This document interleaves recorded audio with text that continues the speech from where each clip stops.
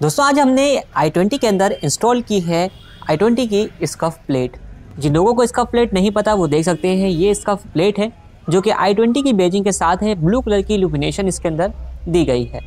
पीछे वाले डोर पर भी आपको ये मिल जाती है, और ये रियर डोर की आप फिटमेंट यहाँ पर देख सकते हैं। स्कफ प्लेट को वेलकम लाइट भी कहा जाता है। डेकोरेशन पर्पज़ के लिए इसका इस्तेमाल किया जाता है। नाइट के टाइम में इसका लुक बहुत ही ज़बरदस्त आता है। इस प्रोडक्ट की डिटेल्स के लिए और बाय करने के लिए आप नीचे दिए गए नंबर्स पर कॉन्टैक्ट कर सकते हैं।